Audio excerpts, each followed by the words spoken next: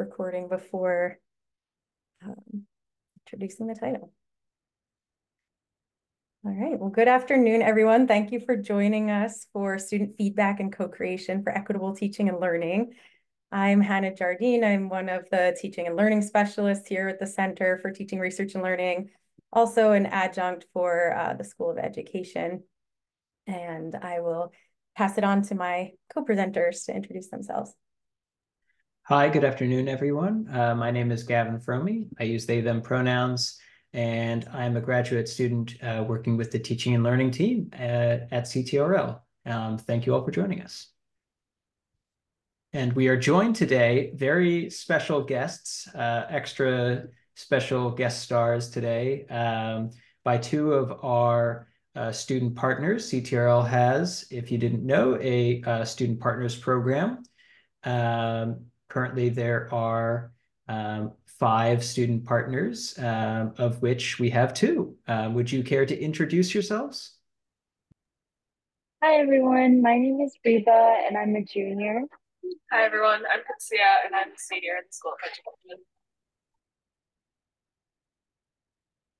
Thank you both, Katsia and Reba, for joining us.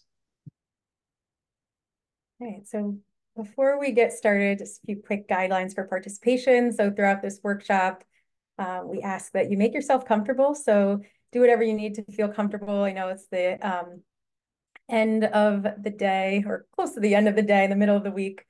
Um, be present. So participate in activities in a way that works for you. We'll have times where you can ask questions, share ideas in the chat, um, and up to you know, what you may or may not be doing right now. Um, just engage in a way that works for you.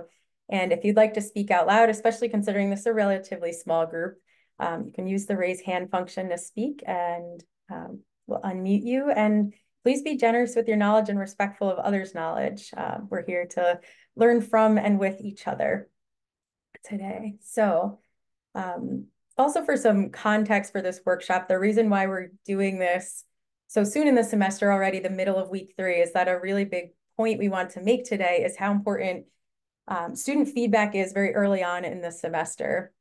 Um, so the, a lot of the ideas we'll give you today are things that you can apply starting tomorrow, um, starting in these early weeks in the semester to kind of set your semester off on a positive note.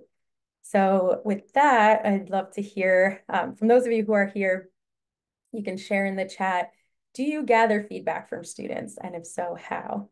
And that could be in formal or informal ways, whether it's just things that you notice or things that you ask them to share formally.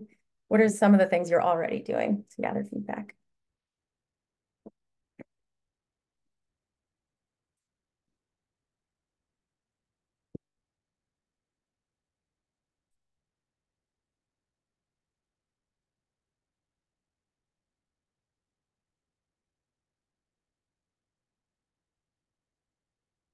And this could be both faculty and staff roles. So it doesn't even necessarily have to be students in your classes, but just students you're working with, students um, on campus in any other capacity.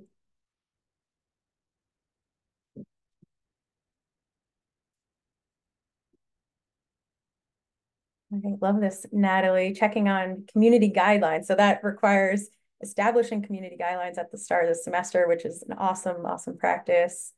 Um, but then, yeah, often we we do that at the beginning of the semester, but don't necessarily refer back to them. So I love that you're getting feedback on how they're going. That way you can adjust and the students can kind of self-assess. Are they upholding those guidelines too? Max, sometimes you think it's too much. Is there ever too much feedback? Polls, exit tickets, formal surveys, generally asking them how things are going. Mm -hmm. Rachel noting SOE students are not shy about providing feedback. Absolutely. Hmm, Erica having that invitation in the syllabus, so really formally putting that language in there so students know that that's part of your value system, part of what you expect. Yeah, so thank you all for sharing these ideas. Is there anything, Gavin, Reba, or Kutsia, as you're reading through them, anything that really stands out to you that you want to highlight or validate? Um, I second what you said, Hannah, about Mac's comment. I don't think that there's ever too much of a checking in thing. I think you can always check in.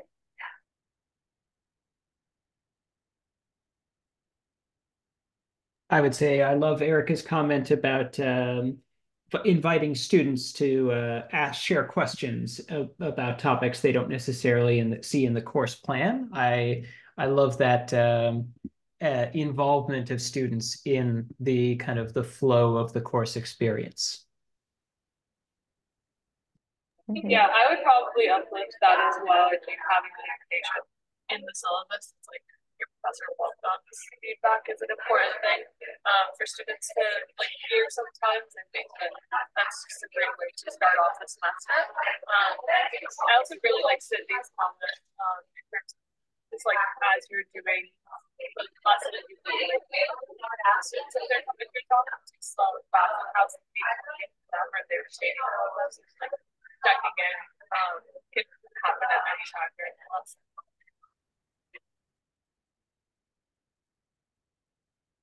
It's a little bit challenging to hear you, Kutsia. Um, maybe depending on who's talking around you. I don't know if you have headphones or I just want to let you know that.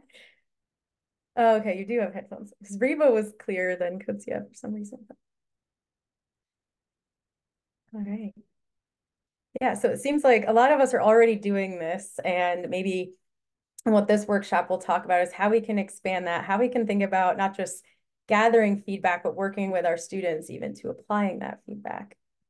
Um, so thank you all for sharing and lots of great ideas in that chat. So by the end of this session, we'll be able to explain the value of partnering with students to enhance equity and belonging in a variety of teaching and learning contexts. So in the classroom and out, for those of you who are staff members working with students, identify various approaches to co-creation through partnership, and we'll define what we mean by co-creation, and plan at least one way that you will partner with students and incorporate student voice and perspective this semester and beyond, potentially. So we're gonna start by talking about the idea of normalizing, gathering, and implementing student feedback, which seems like based on your chat responses is already happening. So I'm gonna hand it over to Reba to share this quote and kind of talk through a little bit about um, the intent behind this quote. Hi, I apologize for any noise. I hope this is a little better. Um, Katsia and I are going to change locations soon, so hopefully that will help. But this is a quote that I said during one of our CTRL student partner meetings, and it was about some professors might get in their mind that when syllabus week is done, the class is set, but it's never too late to change. And I feel I take that kind of mentality on as a student as well.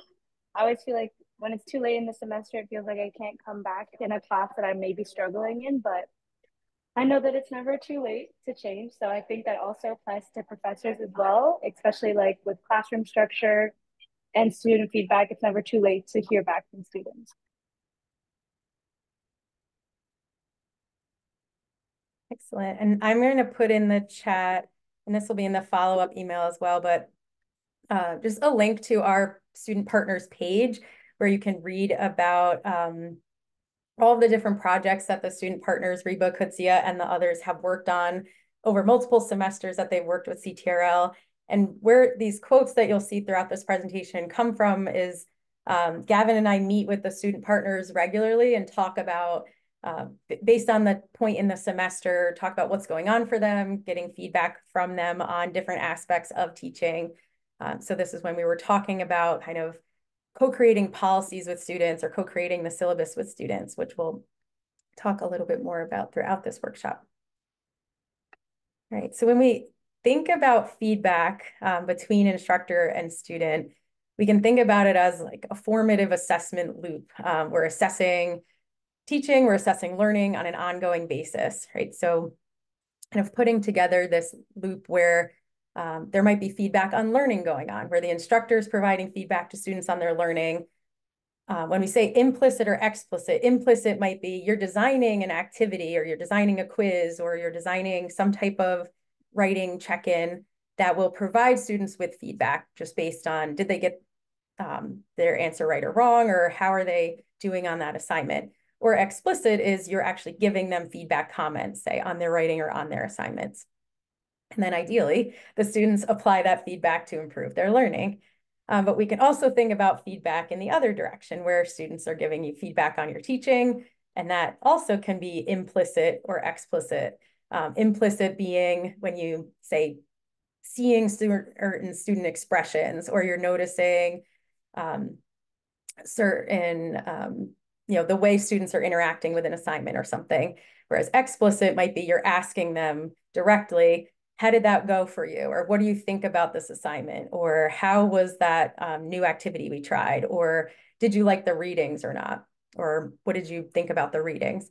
So that all being feedback you could apply to improve your teaching. So these things can be mutually beneficial. It's sort of two separate feedback processes going on that work simultaneously, feedback on teaching and feedback on learning. So we want to think about all that uh, being connected. Um, I'm seeing Erica's comment in the chat that syllabi are not contracts between students and professors and had a student call that once and it was and was upset that it could change throughout the semester. That's a great point. And um, that being that, yeah, students wanting, like some students seeing the changing of the syllabus being responsive and being inclusive of what they might want or need versus another student being upset that things changed. Um, Reba and Kutsia, I don't know if you heard that comment or see that comment and want to speak to that a little bit. And maybe how can an instructor clarify that syllabi are up for changing and help students see that as a good thing? I think definitely establishing that. I hope everyone can hear me. Yeah, that was really clear. okay, perfect. Yeah. I hope, I think establishing that just in the first week during syllabi week is always really helpful, as well as um, encouraging students and reminding them of that. Um, so if a student has a complaint, maybe when you notice that a lot of students are asking for extensions on assignments or you're going through a difficult topic during the course, um, I think that would be a helpful time to remind students that this is you you encourage co-creation, you encourage uh, your students to help give you feedback on how you can make the classroom be a better space that works for both you and your students. Yeah, and I would agree with everything Reba said. I think that I also appreciate when professors have like built-in days in the syllabus that are more flexible. So if we're behind in a lesson for some reason or another, um, we have that built-in day to make up for it. But also if like students need just like a day to come in and talk to the professor and like work with their peers on homework assignments, like towards the end of the semester when it usually gets busy. Um, I've had professors build in those days um, and they just kind of they show that the professor cares um, and is willing to be uh, flexible and i think that's important yeah maybe what i'm hearing too and, and thinking about in terms of this idea of a contract is that maybe certain things are set like the assignments are set but the schedule is up for change or the readings are up for change or um, the you know participation policy is up for change um, that way students have that security and clarity around, okay, I know these are the assignments that are expected of me and that's not going to just change last minute uh, notice, but the other things are flexible and responsive. So kind of the best of both sides of it. Does that make sense? Yeah. Thank you for asking that question, Erica, because I think that's an important point to bring up. Um, I'm going to hand it back to Reba to share another um, point made in our discussions. Um, so this quote is by one of our student partners who was here with us last semester. Her name is Kamaya, and she said that checking in with students to provide them feedback on how they're doing in the class and asking for feedback on teaching are both important, but are two different things. Think about how they go together. And Kamaya actually did a really great project last semester on together. It focuses on co-creation and how to allow your students to help collaborate with you um, in terms of bettering your ability to teach your students. So I think what Kamaya always emphasizes and what we emphasized when we collaborated on a project at our, our first semester at CTRL was um, open communication between students and professors. So whether that means checking in with your students, the simple how are you doing, but also to whatever level you're comfortable with, letting students know how you're doing. It really helps create a foundation of honesty and also encourages students to come with you when they have issues, whether it be with the syllabus, whether it be with something else going on in their lives. But I think that helps students in terms of feeling more comfortable coming to you and maybe commenting on your teaching because I know that can be a very daunting task for some students. We don't know if professors are always going to be open to our feedback. So I think Maya explains that really well. Reba. Now getting into maybe some of the more practical side of everything that you've been saying. So I think Reba and Kutsi have highlighted very well the value of gathering feedback. So how do we do this? Um, how do we make this a part of our normal class routine? So I think a lot of these ideas came up in what you shared in the chat before, informal check-ins, um, verbal and nonverbal um, or written, end of class written reflections, also known as exit tickets. I think that idea came up in the chat. So having students answer a question that they then hand into you on their way out of class. Uh, anonymous polls and surveys, and when introducing new assignments, leaving space and time for questions, comments, clarifications, and just highlighting that point, there's no need to wait until mid-semester or end of semester. And then some ideas for questions we might ask. Um, so something like, we tried something new. How did it go? What could we do different next time? How is our class weekly structure working for you? Are expectations for assignments clear? Um, how is the homework for you? So asking students for their honest opinions on how the course is working for them, that helps to build rapport, helps to demonstrate you care about their learning, and allows both you and students to correct the miscommunications early on. Um, let me see how many people are in here. Okay.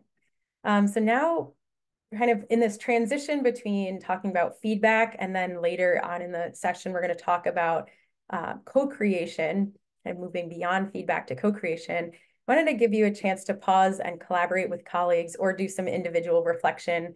If you're not up for talking with colleagues, um, this can just be a time to, to reflect on everything you've heard so far and start drafting out some ideas for yourself. So it'll take about 10 minutes.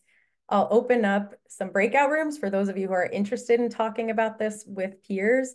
Uh, but for those who aren't, I ask that you please stay in the meeting and it's totally fine for you to sit in the main room and just kind of um, individually reflect or start to draft out some of the things you might want to work on. So, and maybe Reba and Kutsia will go into one of the breakout rooms if we want to talk more with them. Um, so thinking about in those rooms, what are some things you already sense you might want to adjust in your teaching this semester? And how will you gather feedback from students? What are some questions you might ask or when and how, how will you ask them? Um, or you can even um, reflect on other things that have come up in the session so far. So yeah, I'll make relatively large rooms in case anybody stays in the main room. like I said, the breakout rooms will open, but feel free to stay in the main room if you'd like. And we'll start back up in about 10 minutes with the rest of the workshop.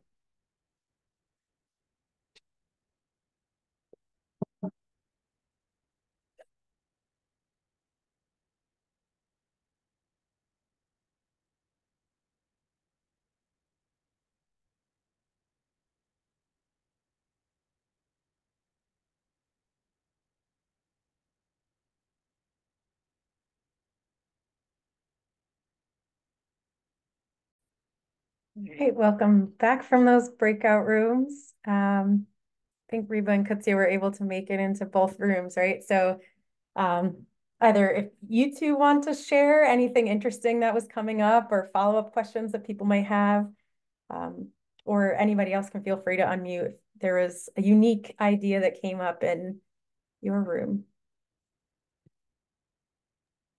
We'll open the floor for faculty to go first if they'd like.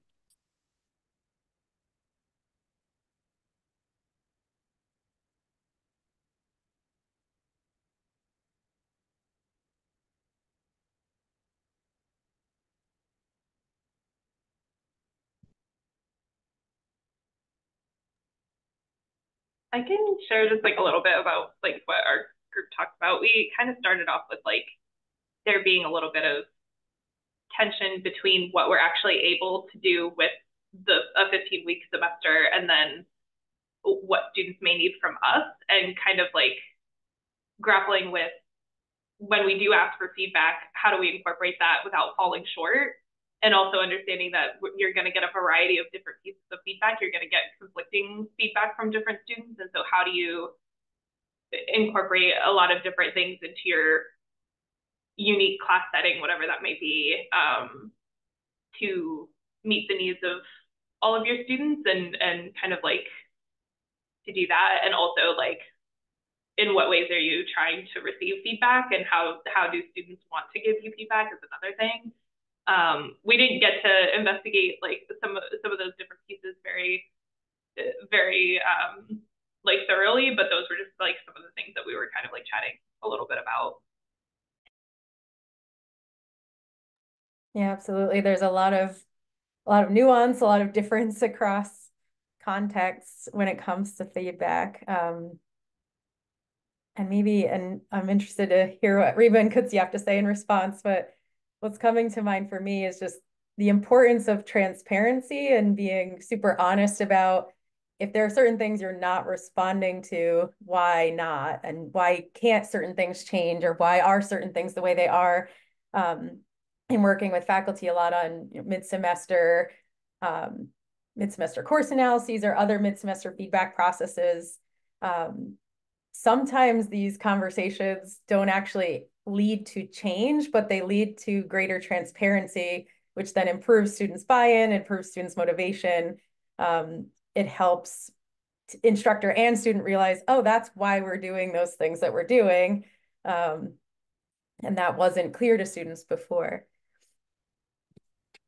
Yeah, I'll, I'll echo Hannah's point that I, I'm interested in Reba and uh, Kutsia's thoughts on this, but I'll also add that um, that yeah, feedback is like so many things. Something it's a process that people kind of take for granted, as though people know how to give feedback uh, instinctively, but um, very much uh, often, as often as the case, is uh, folks need prompting um, about what kind of feedback you're interested in um, as an instructor, um, which is not to say that you don't want to encourage students to express their honest opinions, but um, I often find that when asking for feedback, it's helpful to to say, you know, keep the responses to um, specific actionable recommendations. Um, the specific is helpful because then you have an idea of exactly what it is that people are interested in, in you know, uh, giving their feedback on, and and actionable being things that um,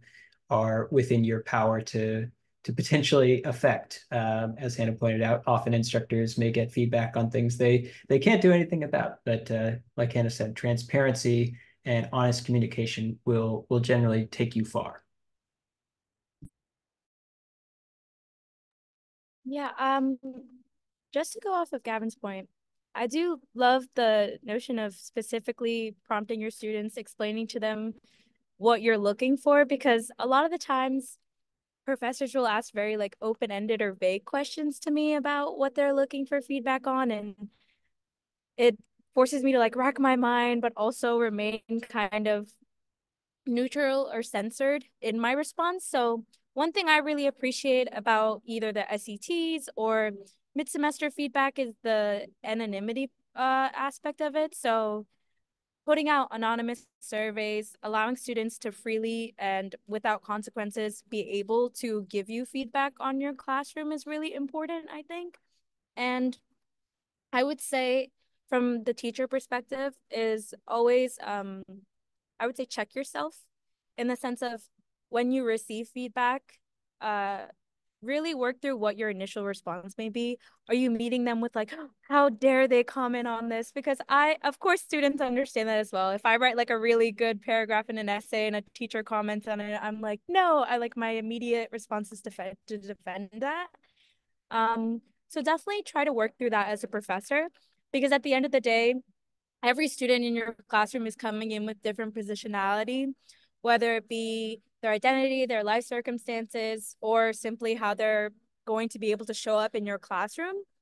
So as a professor teaching that class, you're not going to ever be able to fully understand that, which is why feedback can be such a critical and useful tool in co-creation. So yeah, just building on that, I think that there's definitely a delicate balance between um, questions that are too specific and questions that are too vague in terms of feedback. So like working through that yourself um, before you ask for that feedback is an important part. Like, um, for instance, a question like, how do you feel about this class? Um, would not get the student like would not get the responses from the students that you might need to improve your instruction versus like how do you feel about this like very specific reading but more generally it's just like i think finding that balance is important um i also think like being responsive to feedback like um it's it's definitely an emo like it's definitely labor on students to provide feedback as well and students are having to do that reflection.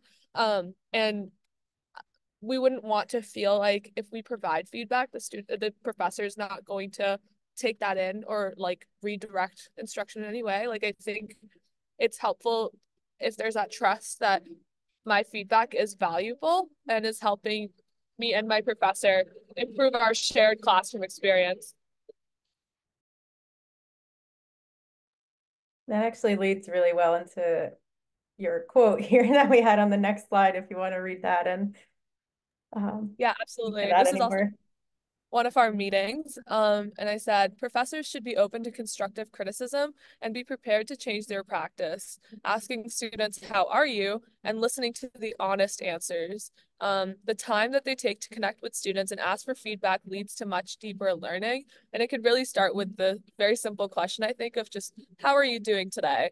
Um, so I, I, I think that being able to critically reflect on uh, the shared experience because we're all learning together is a really important aspect of um, going into receiving feedback.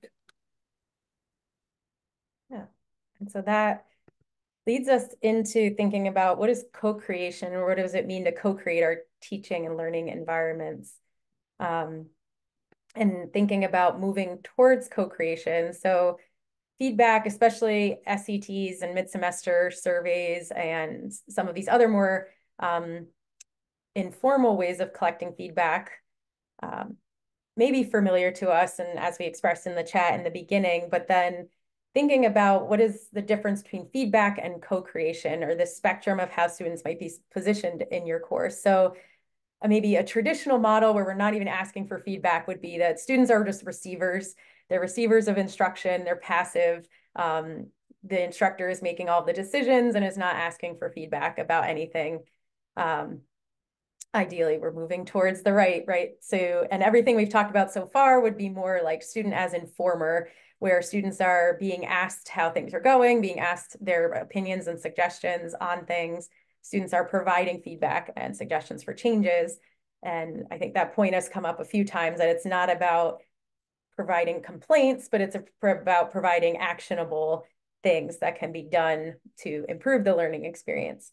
Um, but then thinking even further along this spectrum towards co-creation would be students as active partners in the learning experience. So not just how are things going, but what can we do together to improve this assignment or how can we work together to um, change the, um, the way we're approaching this course, kind of almost giving the students more agency in adapting the course or improving the course or changing the course. Um, so I'm going to pass it over yeah. to Gavin now to talk about what is co-creation, the benefits of it, and then uh, Reba and Katsia will speak more to that. Yeah, absolutely. Thank you, Hannah. Uh, well, Hannah kind of introduced the idea, um, but I'll uh, put a put a fine point on it. Um, so what is co-creation? Well, the goal of co-creation is to achieve deeper understanding of teaching and learning through shared analysis and revision. Um, it entails uh, respect, recipro reciprocity, and shared responsibility between students and faculty.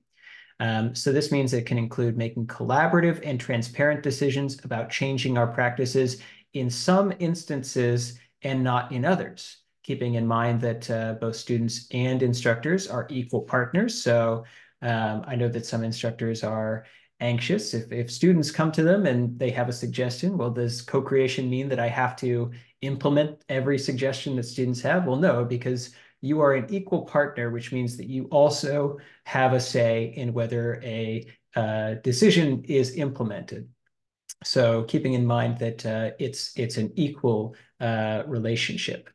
Um, so yes, co-creation includes um, developing mutual respect for the individual and shared rationales behind these choices. So even when you may disagree uh, with uh, what a student proposes, you still get a deeper understanding of where they're coming from and why they might want to um, to advance a certain idea of how to uh, envision a class relationship. Um, so we've that's basically what co-creation is.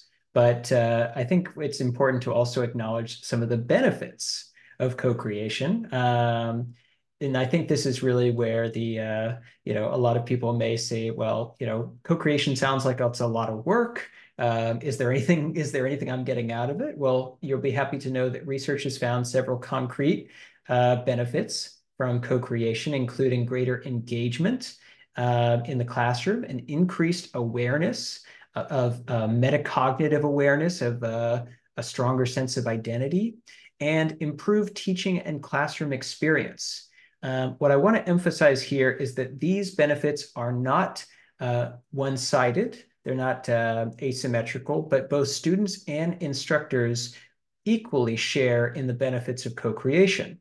So for example, increased awareness uh, for students may look like students are becoming more aware of how they learn, how they approach the learning process, taking greater ownership over their learning success. And for an instructor, it may be becoming more aware of why we choose to enact certain policies or instructional uh, design choices in our courses. And thus being able to, once we understand these decisions, articulate them to others, say in casual conversation, uh, if that's your conversation topic, or in a teaching portfolio. Um, so there are multiple benefits of co-creation that both students and instructors can enjoy. And I think we have a quote that may uh, emphasize this. Um, is this uh, Qudsia now who is reading? Yeah. Um, having the professors say, I want you to self-advocate and I want you to come to me if something isn't working for you and encouraging that kind of behavior with their students is another way to make the class more equitable. Um, just opening up that space um, and welcoming feedback is um, really an important part. And this is one of my peers, Marie, who um, had talked about this idea and I just want to uplift it here. Absolutely. Thank you, Qudsia. Um, that's an important point to note. And I feel like the um, uh, classroom space is is really uh, shifted when this uh, co-creation process is initiated. It ceases to become the um, that uh, left end of the spectrum that Hannah pointed out, where students are just you know empty vessels waiting to be filled with knowledge, and shifts it into something different. Hannah, if you could go to the next slide, please. Um, co-creation can really be a space to create a micro society within a classroom uh, where all are contributing to its functioning. Um, this can mean uh, many things depending on what your goals for co-creation are. Um, you could be working together on developing a specific component of a class, such as a norm, a guideline, or expectations. Um, you could be deciding upon specific readings or other course content um, such as uh, you know videos, podcasts, whatever the uh, medium may be, um, developing specific policies. Um, and to Rachel's point earlier in the chat, these would be course-specific policies, not university policies. I don't think you can co-create university policies at the class level, but um, you know we we can dream. Um, but these would be course-specific policies such as uh, participation or late work or attendance, what have you. You could also co-create assignments or even grading structures for the course. Um, it's really up to you and students to decide what it is that you feel is most important to work on within your specific context. Next slide, please. And I'll, I'll say, I'll oh, point oh, yeah, that, um, you know, we're not saying here that in order for it to be co-creation, you have to do all of these things. No, certainly not. Just starting with one, I think a few people put in the chat before that you're already have tried creating um, norms or guidelines together. And so that kind of leads into, okay, now, now what might we try? Um, that it doesn't have to be an all or nothing. No, no. In fact, that's that's why I made the point about your specific context. Some people just don't have the time. Um, the desire may be there, but the reality is that uh, you only have so much, uh, you know, real estate in your classes to dedicate to this co-creation process because it does take time to do well and to ensure that all parties feel um, like the experience is an equitable one. As I will be talking about in this next slide. Yeah, well, I, I did want to- Oh, go on, um, sorry. If Reba and Qudsia had any follow-ups to this slide um, or comments on that idea of the micro society or mm. um, I think in conversations with the student partners, we've also talked a lot about um, there are a lot of social science classes at AU and um, not knowing exactly what everybody here teaches, but a lot of the times we're teaching about content um, and then kind of thinking about, well, how do we enact that content in the way that we run our classes, right? So any comments from you both on this concept or other ways to think about it? Yeah, um, I first just want to applaud Gavin for explaining that so well and also Hannah for emphasizing that we students do not expect every single one of these things to be implemented. Um, I don't even think as a student I could keep up with all those things like that. But we appreciate the effort regardless. I can speak on that from the student perspective. And in relation to what somebody said before about university policies, um, we understand that sometimes uh, what professors want to do and how they want to accommodate for their students' needs may not always align with what administration provides you not only the resources for, but also even allows you to do. But I would always encourage professors to not particularly like go against university policies. I, I don't expect you to put your careers on the line, but making sure that you're kind of meeting your students halfway, regardless of the system that you may be teaching under, because that same system is restrictive not only to faculty but to students as well. A really good example of that is um, ASAC accommodations. Um, as some of you may know, it is very difficult to go through the process of getting official documentations for disabilities or accommodations. So I would always open the space, or I've had professors in the past say that if you do not have official documentation from the ASAC office, um, come to me, talk about it, talk about your accommodations, and we can work a way out. So even if you cannot fully accommodate for what that student is asking for, I think really setting an open mind and not restricting it just to you need to prove that you need this, this, and this from me. More so opening up a dialogue and making sure that students feel comfortable in the first place to come to you is very important. And let's see if you have anything to add. No, I, I think Reba put it perfect.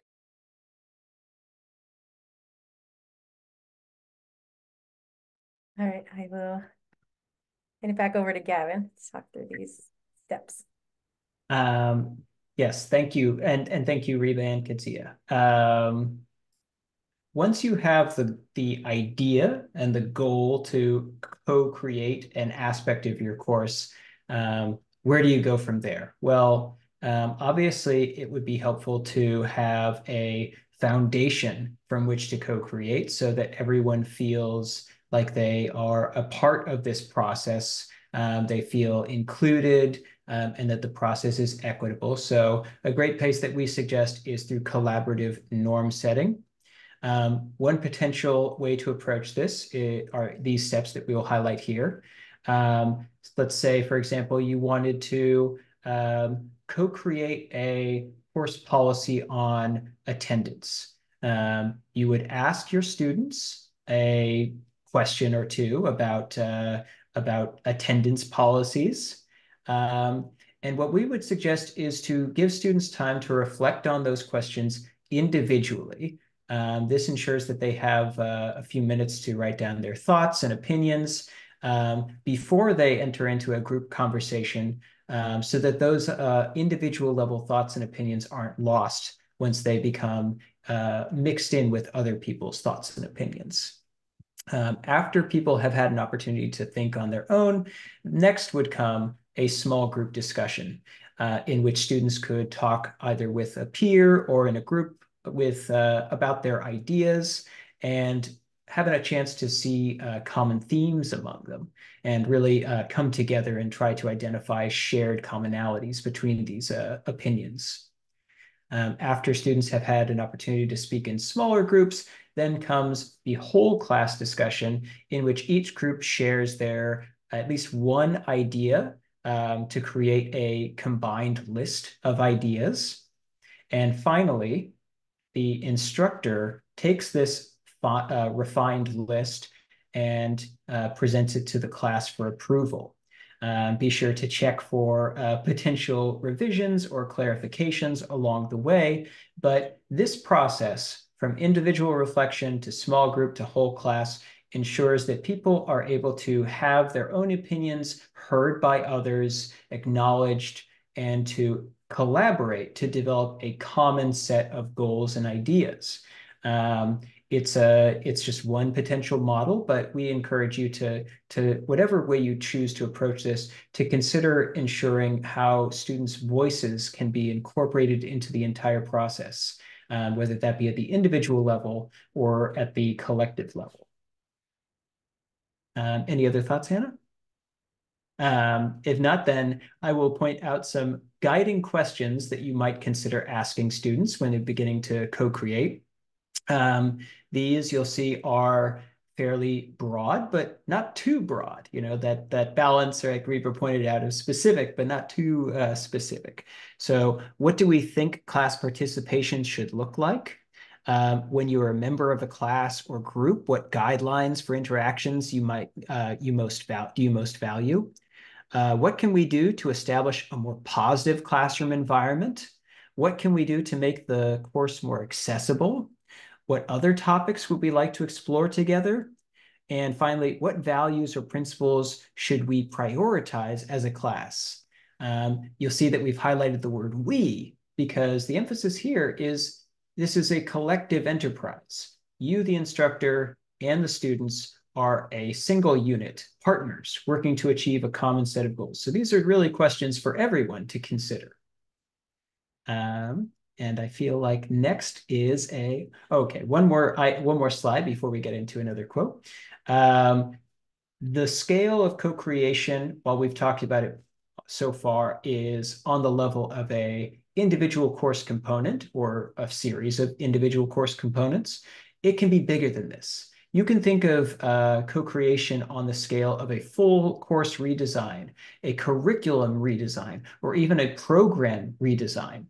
Uh, you'll see this little uh, triangle on the right, this image of learning outcomes, assessments, and instructional, instructional activities is just a reminder to think about how alignment fits into this picture, making sure that the overall goal of a course, overall goal of a program is considered whenever you engage in co-creation. It's not just one aspect, not just thinking about instructional activities, not just thinking about assessments, but thinking about how all of these factors fit together into a cohesive whole.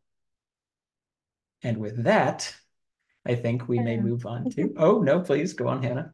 Well, I was going to say, I noticed Rebecca Comfort, you're here. I don't mean to call you out, but I know um, Rebecca Comfort is with the AU Core Complex Problems, and they've done work in this um, realm. I think working with students on, say, assessment. Um, no, the office, the new Office of um, Academic Integrity and Allison Thomas have been working with students on um, academic integrity policy and things. So it can certainly, for those of you who are here or know people who this might work for outside of the classroom, but even on a larger scale. Um, I'm happy, or we're happy to meet with you to help think through what does that look like to work with students. And there are plenty of examples of this already happening on campus that are really inspiring. Thank you, Hannah. That's that's very good to point out. Always good to give uh, flowers when they're due. Oh, All right. So yeah yeah no uh, yeah absolutely absolutely. Um, so i've talked a lot. Um, so now i'd like to hear from you all. Um, if you would be so kind in the chat please share. What challenges do you anticipate regarding co-creation? Um, i'm a very positive person so i like to think of all the good things but um, it's also important whenever you make a plan to consider what might go wrong or what some issues might be as you as you proceed. So what challenges do you anticipate regarding co-creation?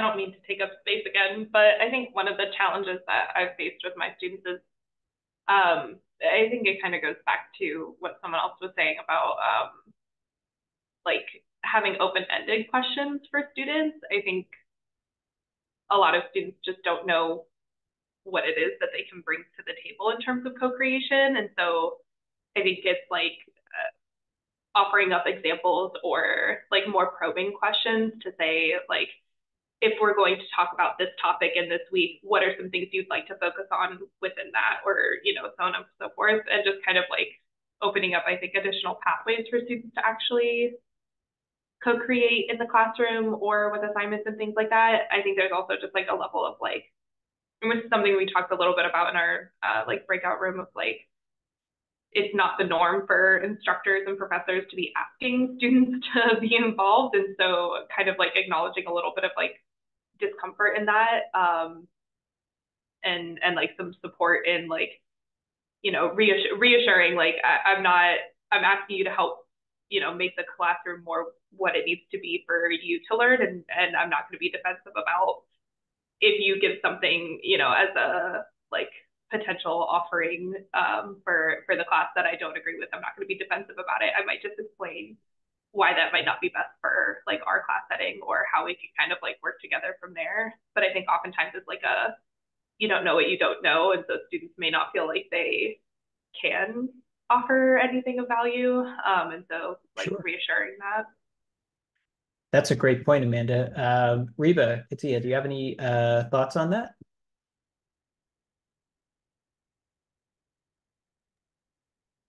I think that we're okay. We might. I just want to read that uh, chat in the oh that comment in the chat. No problem. No, I I, I like that point, and I will say that um, it's it's probably a very common one that uh, students generally have not been asked their opinion.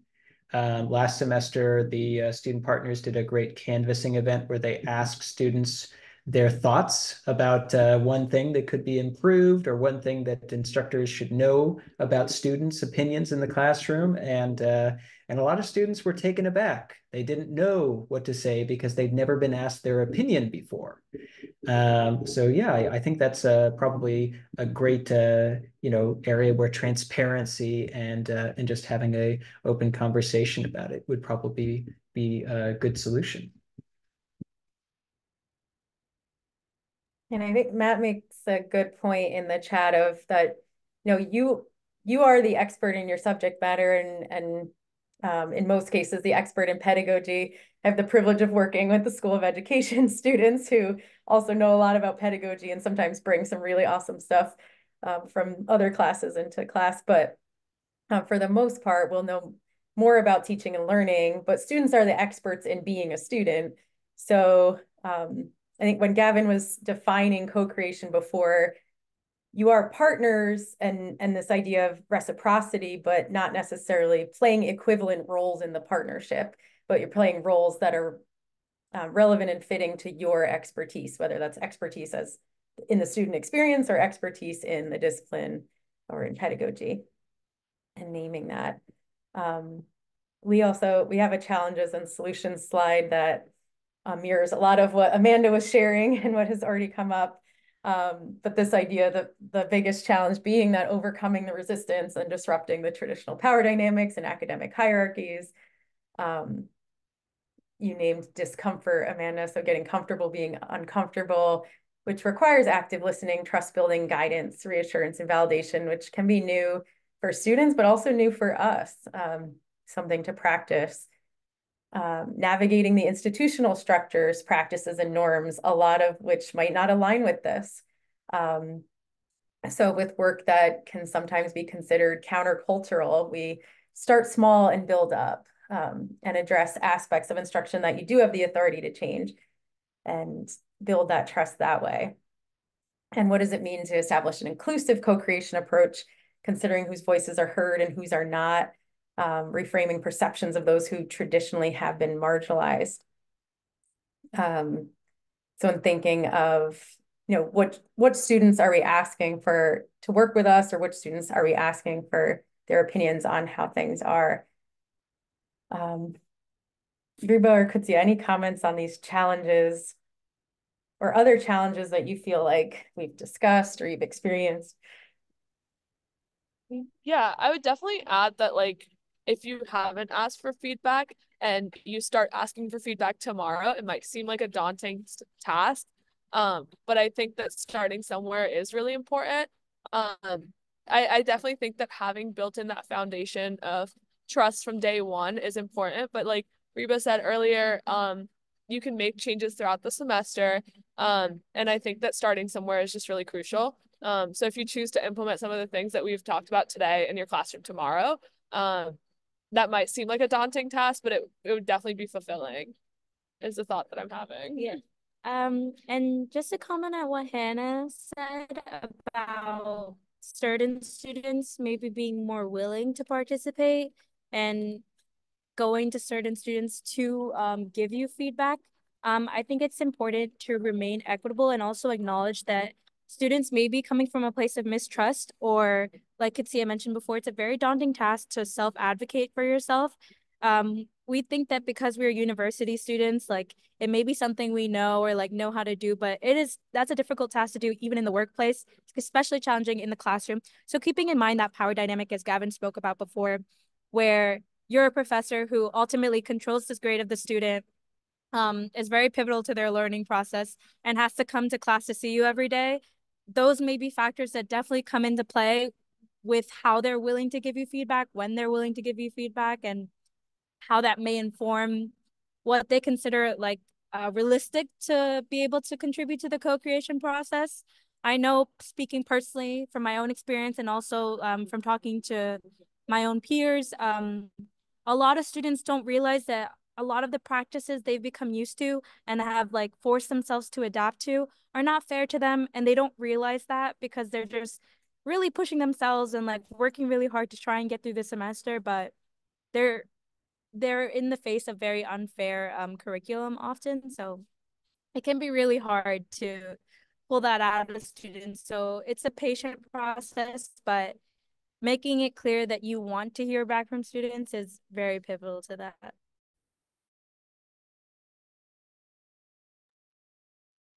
All right, I'm gonna move on to our last shared quote and then we'll wrap things up. Yeah, um, something I want to highlight that one of um, my fellow student partners brought up was trust, rapport, and community are all important. Students need to know that they will be heard. I think that they really are the foundation of a successful, inclusive, welcoming learning environment, but also just like great teaching and learning for like to make great teaching and learning possible in the classroom. Um, and I think I think that those really are key elements of that. And if I could jump in really quickly, Ali is actually um, in the STEM area of our schools. So uh, she does some great work, um, especially if you want to check it out on how um, to include inclusive pedagogy in STEM classrooms, because it's not always something that's at the forefront of STEM uh, educators' minds, but it is important to keep in mind that this can also apply to any subject. So. Mm -hmm. Absolutely. Thank you, Reba and Qudsia. Um, I'm actually going to switch to the slide. Reba, if you want to talk a little bit more about um, where the Student Partners Program is going and the opportunity for faculty to work with you. Yeah, thank you, Hannah. So um, this semester, um, Hannah and Gavin decided to bring me back on as a student consultant in some ways. It's also called um, on the form uh, section on the website where it says ask a student partner. I will be one of the student partners that you're asking. So as you can see, whether that be a one-on-one meeting with me, uh, email conversation that we can have. I can, I'm willing to sit in on classes. I would love to look over any course materials you would like to send me. Basically, just a conversation. Um, this is a new thing to me. Um, it's a new project um, that we're implementing, and I'm very, very excited about it. So feel free to reach out, um, whether it be simply just me encouraging you or validating you as a professor, um, or just appreciating the fact on behalf of the rest of your students that you had the willingness to come to a student and to accept the student perspective um, is something that I'm really thankful to have the opportunity to do. So can't wait to work with some of you. Yeah, and feel free to share these resources too with colleagues. I know there aren't very many of us here, and a lot of people had messaged me, I think, um, at least for CAS, there was another big event going on and whatnot. So um, feel free to share this with anyone you think might be interested. Um, so I'll I'll do our, our normal thank you closing slide, and then uh, we do have some time that if anybody has um, additional questions about anything we talked about or questions for Reba and Qudsia, uh, feel free to stick around. So again, thank you for joining us. Thank you so much, Qudsia and Reba, for your contributions and um, all of your insights. This was so incredibly valuable. Um, I encourage you all to, if you want a consult, to connect with Reba before you even connect with me or uh, my colleagues. But um, just the typical announcements, you can always request a consult with the teaching and learning team. We have tons of upcoming events and um, resources on our website as well. But I really want to highlight what the student partners have all created. To Natalie's question, um, yeah, I will send a follow-up email with the slides.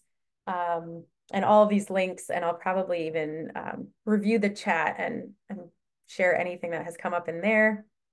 And what else? Um, and this was recorded. So if at any point you want to rewatch it or share it with a colleague, um, it'll be available relatively soon.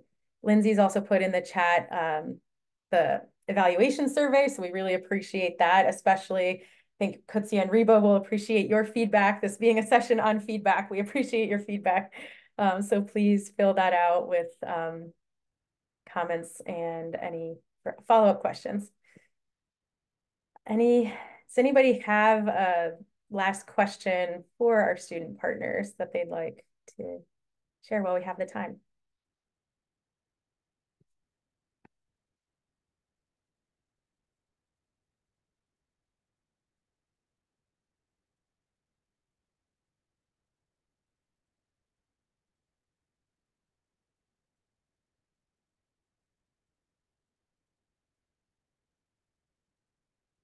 If not, um, Reba and Qudsia, any final thoughts or Gavin?